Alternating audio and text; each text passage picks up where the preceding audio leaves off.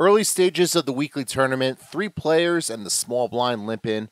We look down at pocket fives in the big blind. Time to go set mining.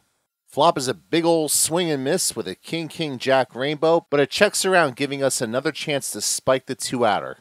Bang! Five ball on the turn to give us the well disguised full house. We check around again, hoping someone takes a stab, and the button takes the bait. Call. We call, and we run into a small check raise behind us. Button gets out of the way. We call again to not scare this guy off. But the river puts a third club out there, killing our action. We check one last time, hoping they take another stab at it. Unfortunately, they dodged the trap. Lesson learned when you have the hammer, you got to give him the hammer.